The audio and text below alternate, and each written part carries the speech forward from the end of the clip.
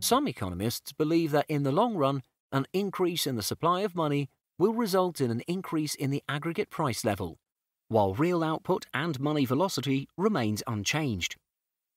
This belief is referred to as money neutrality. To explain this, we first need to understand the relationship between money and price level. The quantity theory of money states that quantity of money is proportional to the total spending in an economy. This theory is explained in terms of this equation, known as the quantity equation of exchange.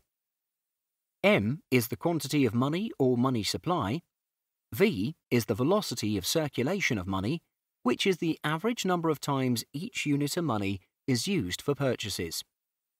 P is the average price level, and Y is real output in terms of units sold.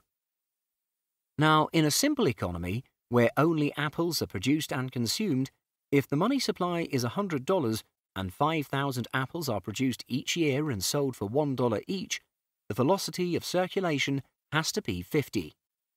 This means that each dollar is used 50 times to buy apples in a year within the economy.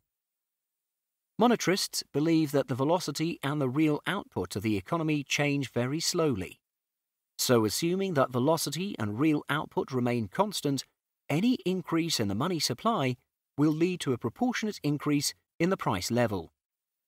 For example, a 10% increase in the money supply will increase the price of each apple by 10%.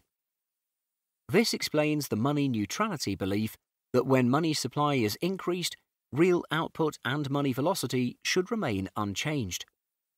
The only consequence is that the aggregate price level will increase. For this reason, monetarists argue that monetary policy to regulate the supply of money can be used to control inflation in an economy.